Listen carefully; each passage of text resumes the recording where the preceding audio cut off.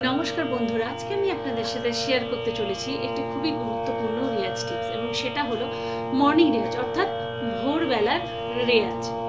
এবার বিষয়টা হচ্ছে ভোরবেলার রেয়াজ আমরা কেন করব এবং কীভাবে আমরা এটা উপকৃত হয় সেই বিষয়গুলো আগে আমি ক্লিয়ার করে কিন্তু তার আগে যে প্রশ্নটা আমার স্টুডেন্টের কাছ থেকে আসে এবং আমি বারবার তাদের এই কথাটা বলি যে তারা আমার কাছে জানতে চায় যে ভোরবেলায় রেয়াজ করাটা কি খুব প্রয়োজন বিষয়টা হলো যে হ্যাঁ ভোরবেলায় রেয়াজ করাটা ঠিক ততটাই প্রয়োজন যতটা প্রয়োজন তোমার কাছে সংগীত। অর্থাৎ তুমি তোমার ভয়েস কোয়ালিটিকে, টোনাল কোয়ালিটিকে যদি সত্যিই ইমপ্রুভ করতে চাও সত্যি তুমি যদি ভালো গান গাইতে চাও, তাহলে কিন্তু মর্নিং রেয়াজ অর্থাৎ ভোরবেলায় রেয়াজ করাটা কিন্তু খুবই গুরুত্বপূর্ণ। ভোরবেলায় রেয়াজ আমাদের গলার টোনাল কোয়ালিটিকে ইমপ্রুভ করতে সাহায্য করে। গলার সুরের মধ্যে স্টেডি ভাব আনে এবং ভয়েস কোয়ালিটির মধ্যে ক্লিয়ারিটি আনে। ভয়েসকে অনেক স্মুথ করে এবং অনেক শ্রুতি মধুর করে তোলে। তাই ভোরবেলার রেয়াজের প্রচুর প্রচুর বেনিফিট রয়েছে যদি সেটা প্রপার ওয়েতে করা হয়। এবার আসছি ভোরবেলার রেয়াজ আমরা কীভাবে করব? কারণ ভোরবেলার রেয়াজ যতটা গুরুত্বপূর্ণ, ঠিক ততটাই গুরুত্বপূর্ণ হচ্ছে সেটা প্রপারলি করা। ভোরবেলায় রেয়াজ মানে কিন্তু সবসময় সেটা মন্ত্র সপ্তকের ওপরই কিন্তু হতে হবে। মন্ত্র সপ্তকের ওপর রেয়াজ এই জন্য করব কারণ ভোরবেলায় আমাদের গলা একদমই বসে থাকে, সেক্ষেত্রে কিন্তু মধ্য সপ্তকের পায়ের ওপর কখনোই রেয়াজ করাটা কিন্তু উচিত নয়। তাই আজকে আমি তোমাদেরকে দেখাবো যে কীরকম ভাবে পরপর স্টেপ অনুযায়ী ভোরবেলা রেয়াজটা করা উচিত। ফার্স্টে আমাদের গলা অনেক বসে থাকে এই সময়, তাই প্রথমেই আমাদের হামিং রেয়াজটা করা উচিত। অর্থাৎ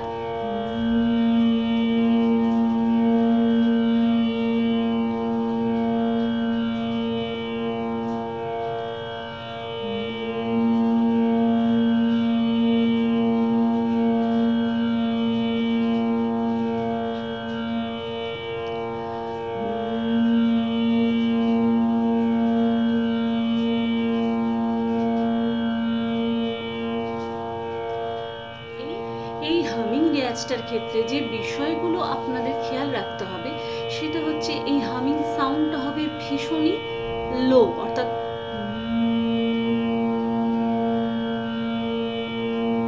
খুব রিল্যাক্স এমন নয় যে ফোর্সফুলি করার কোনো প্রয়োজন দ্বিতীয়ত, এর যদি বলি যে কতক্ষণ সময় ধরে এই হামিংটা করা উচিত, তো যতক্ষণ আপনার স্বাভাবিকভাবে নিঃশ্বাস থাকে, তো করবেন অন্তত দশ বার আমি এই যে টাইমটা বলছি যে কতবার করা উচিত, এটা আমি মিনিমাম বলছি। ম্যাক্সিমামের কোনো লিমিট নেই যত বেশি প্র্যাকটিস হবে ততই ভালো। তো এই হামিং রেয়াজটা হয়ে যাওয়ার পর, এবার আপনাকে যেটা করতে হবে সেটা হচ্ছে ওমকার প্র্যাকটিস এবার ওমকার যে প্র্যাকটিস করতে হয়, এটা মনে হয় অনেকেই জানে। কিন্তু ওমকার প্র্যাকটিসের সময় কতগুলো বিষয় কিন্তু খুব লক্ষ্য রাখা উচিত।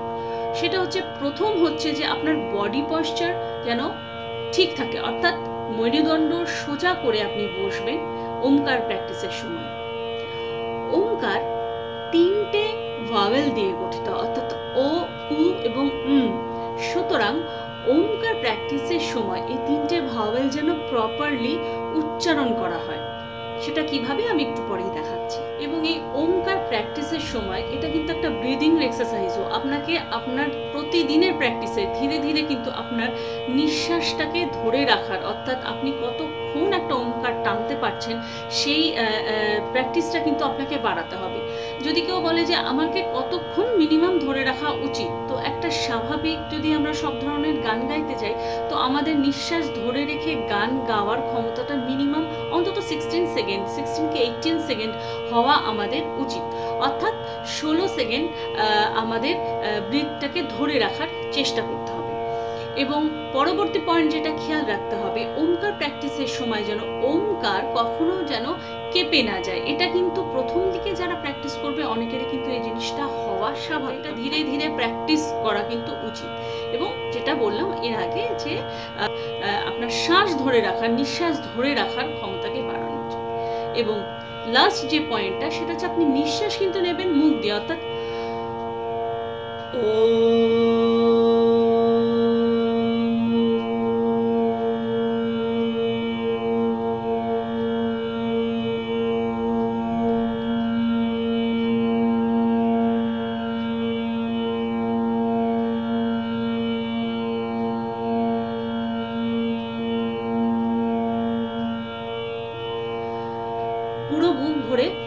নিঃশ্বাস নেবেন এবং ধীরে ধীরে ধীরে ধীরে ধীরে সেটা কিন্তু ছাড়ার অভ্যেস করতে হবে। আমি আরও একবার দেখাই। এইভাবে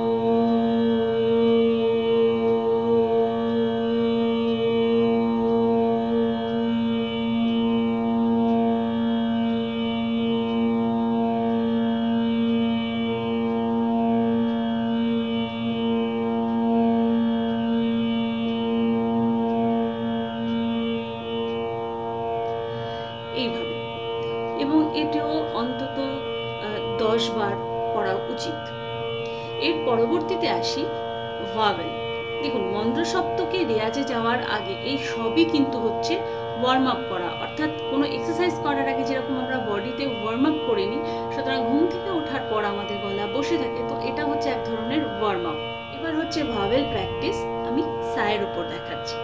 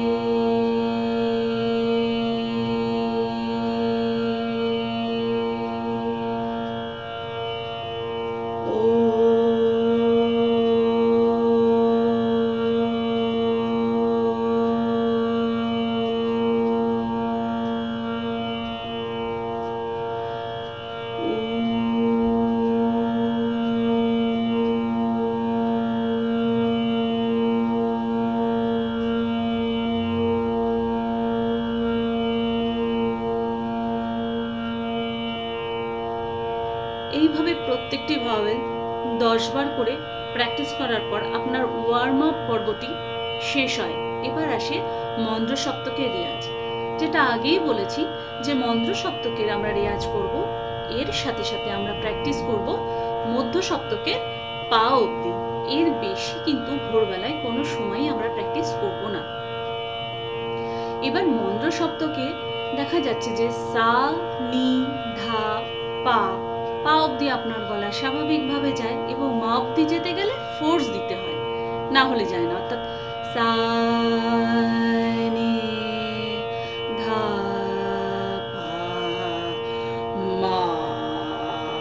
হলে যাচ্ছে না গলা। তাহলে সেক্ষেত্রে যাওয়ার দরকার নেই। আপনি হালকাভাবে পুরো দমটা নিয়ে বাতাসের সাথে সেটা বলার চেষ্টা করুন।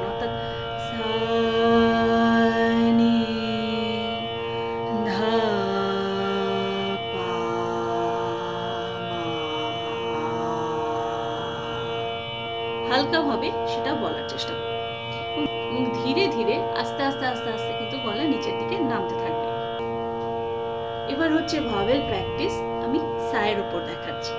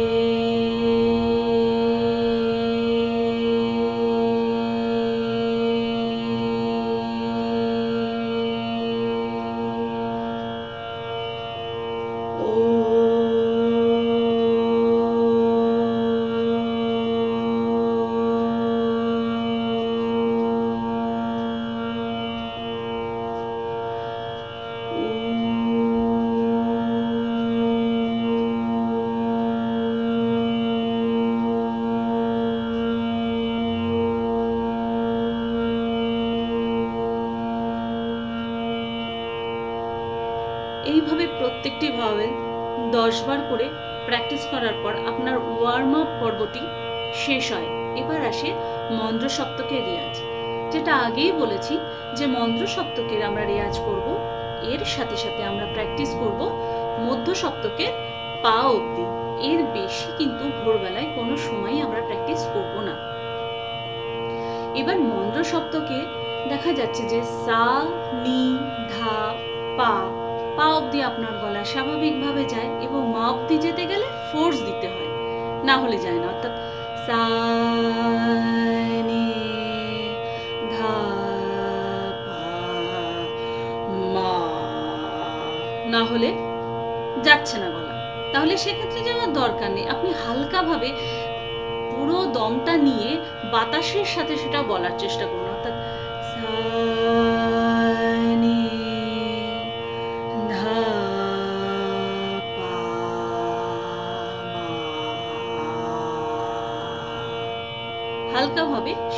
বলার চেষ্টা করুন এবং ধীরে ধীরে আস্তে আস্তে আস্তে আস্তে কিন্তু গলা নিচের দিকে নামতে থাকবে এরপর আমি পাঁচটা পাল্টা বা অলঙ্কার আপনাদের সাথে শেয়ার করছি, যেগুলো আপনার প্রতিদিন অভ্যেস করতে পারেন। এবং এক একটা পাল্টা অন্তত পাঁচবার করে আপনারা কিন্তু প্র্যাকটিস করবেন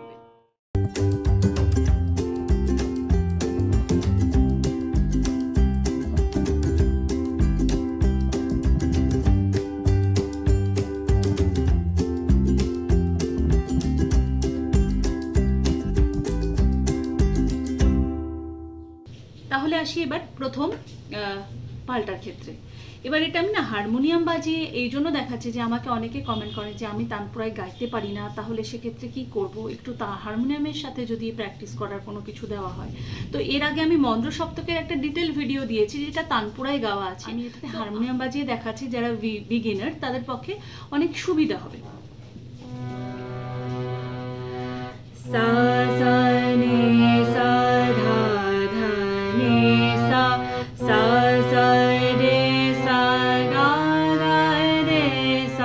যদি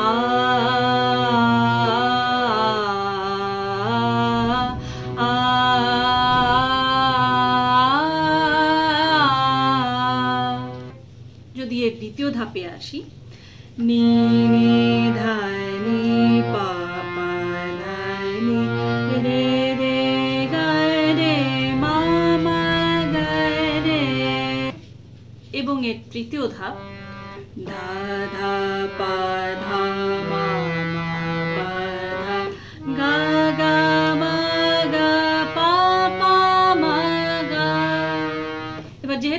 বলেছি, সকালবেলায় আমরা পায়ের বেশি উঠবো না, তাই এত দূরই। মাঝে মাঝে মেঘ ডাকার আওয়াজ আপনারা হয়তো শুনতে পারেন, কারণ বাইরে বৃষ্টি চলছে। তো এই আওয়াজটা ভিডিওতে একটু চলে আসবে। তো যাই হোক এটা হলো প্রথম অলঙ্কার এবার আসছি দ্বিতীয় পাল্টার ক্ষেত্রে। ধানি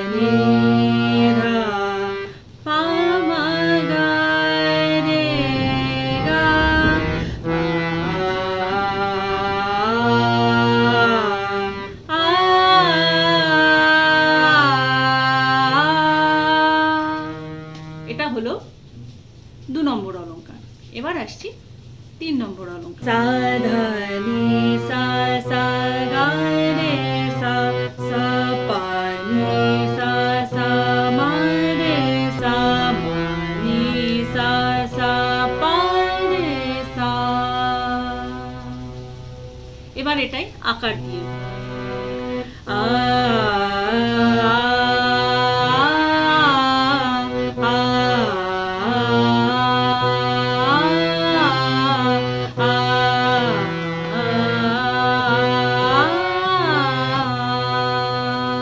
এবার চার নম্বর পাল্টাতে এবার অনেকক্ষণ একটা লয় করেছি এবার টেম্পোটা একটু বাড়িয়ে নিতে পারি যেমন ধা নি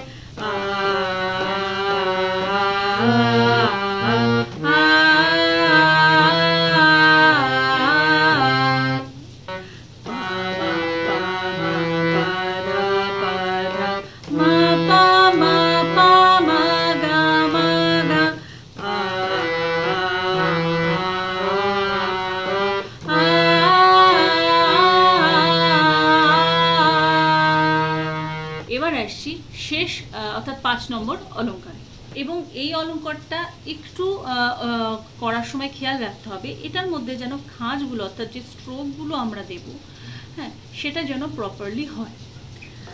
অর্থাৎ এটা এটা করব। সা সা সা সা, নি নি নি নি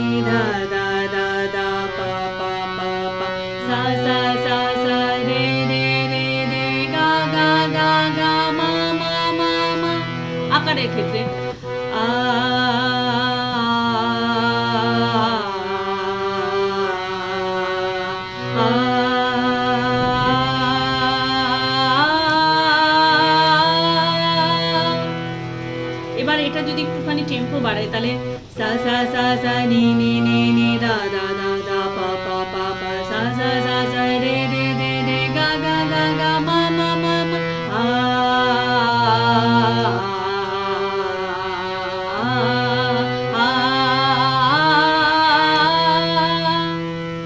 এইভাবে পরপর পরপর কিন্তু অনেক কবার এগুলোকে এক একটা পাল্টাকে এক একটা অলংকারকে বহুবার করে রিপিট করতে হবে তাহলে এই ছিল আজকের রিয়াজ।